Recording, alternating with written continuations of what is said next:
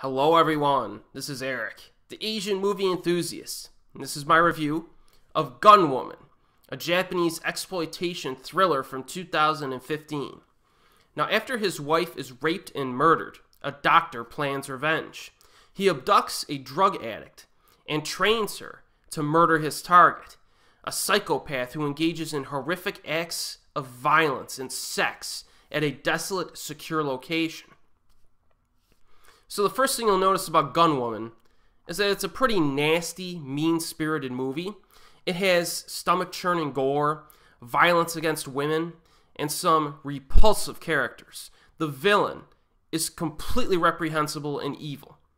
The opening 10 minutes is a good representation, though, of what to expect in this film. You know, most viewers will probably turn the film off immediately after it begins, which is understandable.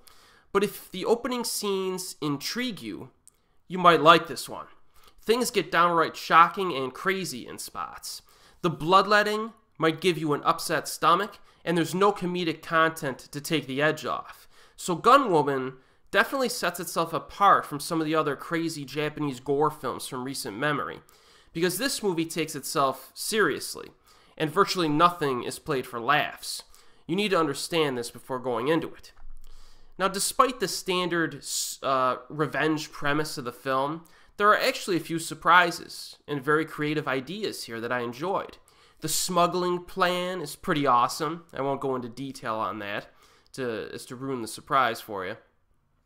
But I've never seen anything quite like that in a film before, uh, off the top of my head. So that was pretty cool. It's like horrific, but oddly captivating at the same time even the cliche stuff, like the training sequence where he's training this girl, is very engaging because it's detailed and specific regarding the defenses and security measures that surround the villain's location.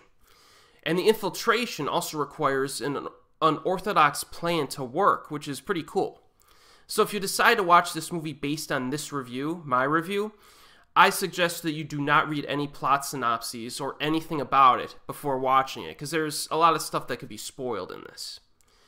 Gun Woman is fairly low budget, and it does feel a bit on the cheap side in terms of performances and production values. Asami is the lead actress, and we've seen her in a bunch of these recent J-Gore films over the past decade, you know, including The Machine Girl and stuff like that. Not exactly a great actress, but she does do a good job in Gun Woman.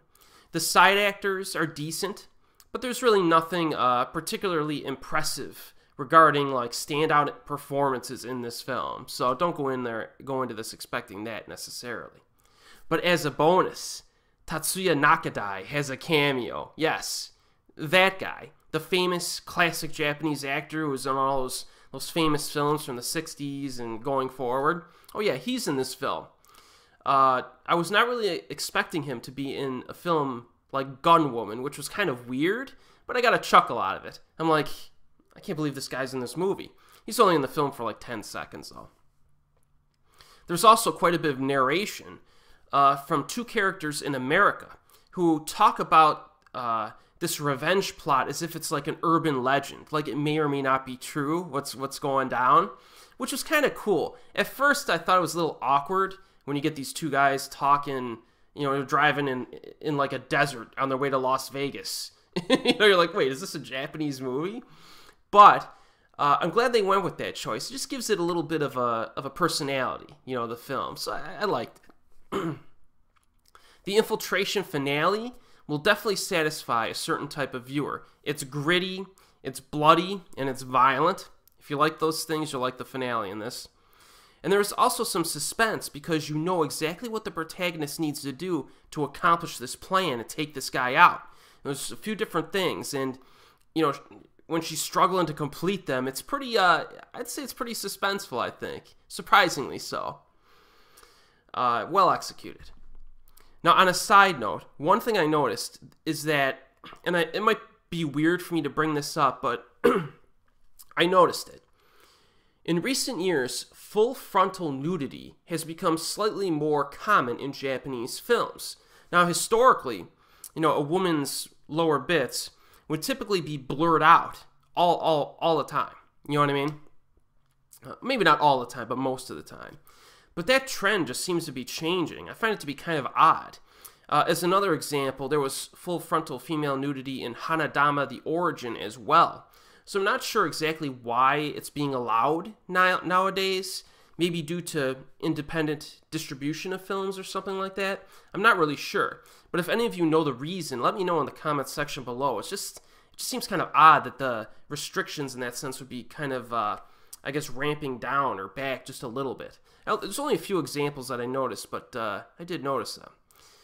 But overall, Gun Woman is not for the squeamish, and probably too disgusting for uh, the average viewer. The average viewer probably will not like this film. But if you like nasty revenge films that provide some neat little twists and creative moments, hey, check this out. It's available on Amazon streaming in the United States. And as always, I'll see you next time.